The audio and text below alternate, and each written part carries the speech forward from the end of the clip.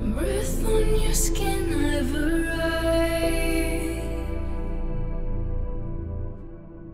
Here I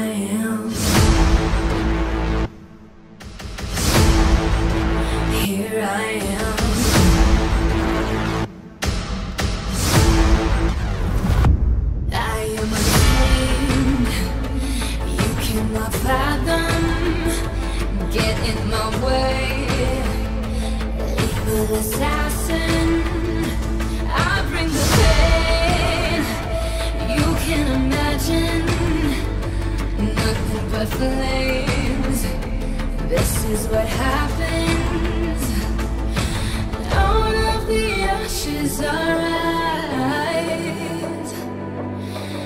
You can run, but you can't hide.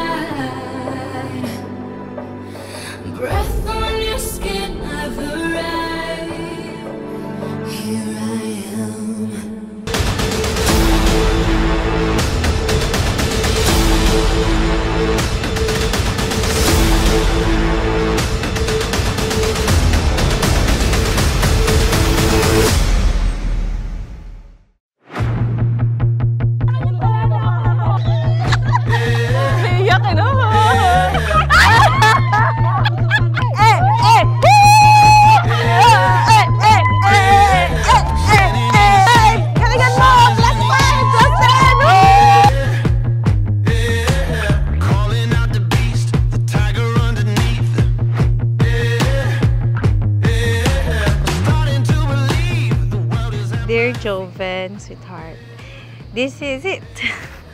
We're finally here after many years of being together for seven good years. Wow. 2011, nung una tayong nagkakilala. I was a newbie in a big city and ikaw naman ay tahimik na nakamasid sa akin. Nabighani agad kita ng aking beauty. But then, I kept myself reserved from all your ninja moves. Dear Melody. Parang awkward na tawagin kita sa pangalan mo. But then, yun nga. Knowing that we always call each other sweetheart. Parang mas cool yun. Doon tayo mas sanay eh. And who would have thought na we'll cross paths again in a different and bigger city. But then on our second meet, hindi mo na ako pinakawalan. And I remembered when we had a short talk sa tapat ng Marina Bay Sands, I knew in my heart na your intention is real. Oh. Hindi pala dapat ako yung kumanta ng crazy year, ikaw pala. And from that day on, alam ko na na grace na ni Lord ang nag-continue to move in our relationship. Well, I was a stalker of you nung college. Alam mo yan, 'di ba? Nung una lang, u- nung una pa lang kitang makita, nasabi ko agad na she's the one. Wow. Kasi yung feeling na I want to spend my life with. I want to spend my life with this lady. This beautiful girl that mers- uh, mesmerized me sa una pa lang. Di Yeah,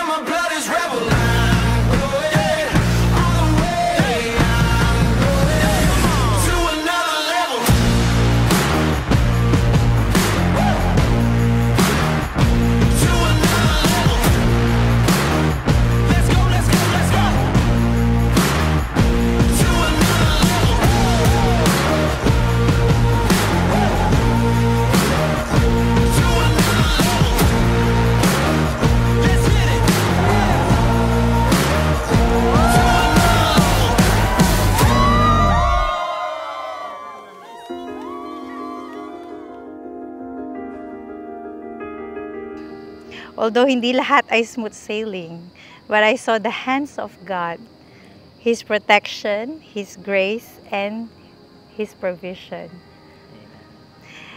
As an OFW, it's not easy. Mga events, birthdays, weddings, funerals, mga na-miss nating mga memories with our families. hindi madali. But we cry on our own and we celebrate on our own. but at least we have each other. Wow. Kapag minsan nag-struggle tayo, we keep it true ourselves para hindi ma-burden ang families natin.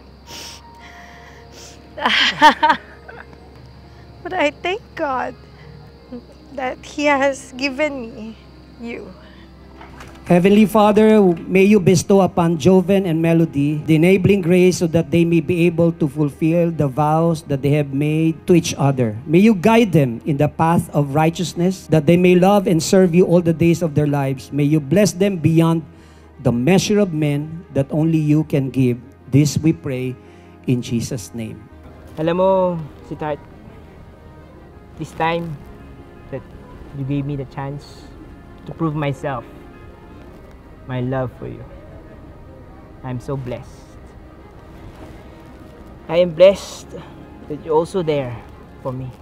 Kasi yung friends, naging kawat ako, at now, will become one. It will be us. Today, in the presence of God and our loved ones, I make these heartfelt vows to you. I promise to love you unconditionally, just as Christ loves us. I'll be patient and kind, always seeking to put your needs before mine. Our love will be a reflection of God's love for us, steadfast and enduring.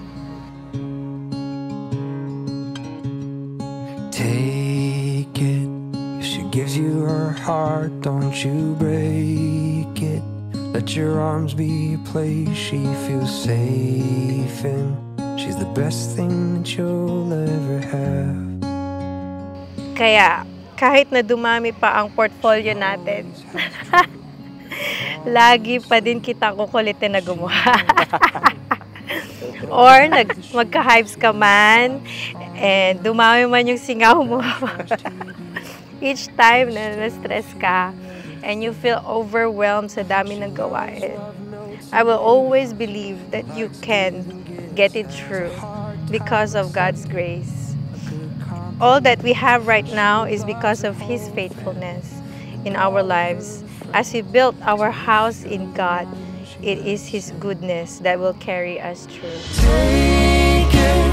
If she gives you her heart, don't you break. Arms be a place she feels safe in. She's the best thing that you'll ever have.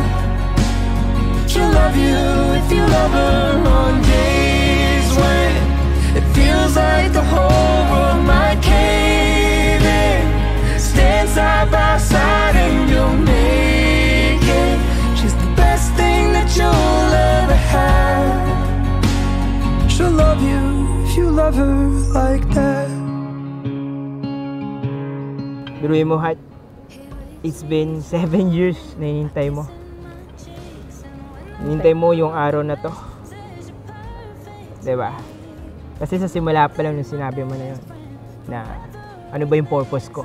Bakit ko ginagawa ang lahat ng to? It. Ito yun. This is what ever have done before. Just to be with you, to marry you, and to spend my life the rest of my life. And yung a friend that just stay with you, I will still hold on to my word. So as we centered God in our relationship, I trust in Him that He will, he will always flourish our relationship like an olive. I love you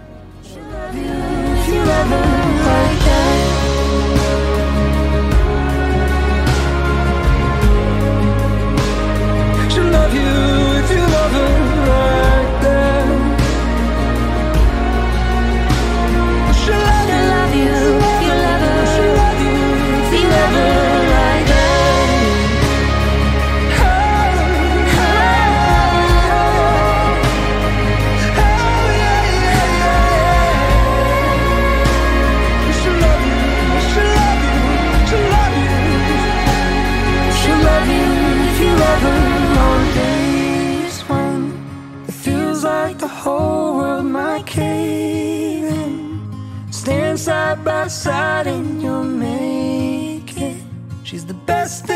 You'll ever have. She'll love you if you love her like that.